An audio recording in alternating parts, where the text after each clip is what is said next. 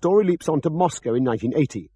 A physicist named Alexander Chernetsky was working along similar lines to Tesla, although on a laboratory scale.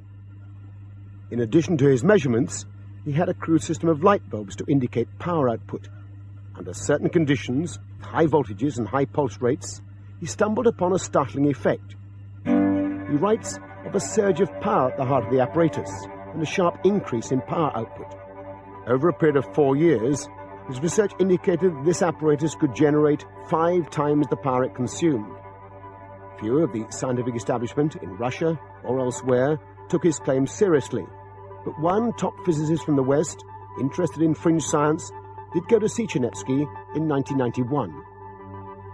We went to see his device. It was a very sort of dramatic demonstration.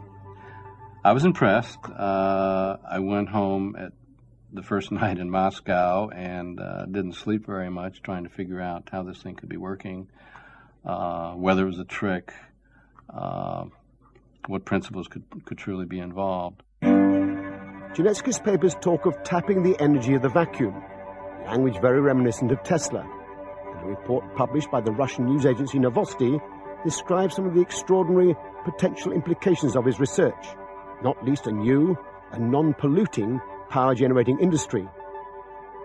Stimulated by what he'd seen, Puthoff finalized arrangements for Chernetsky to continue his work in the US. The Russian died suddenly in 1992, and no one has taken up his research.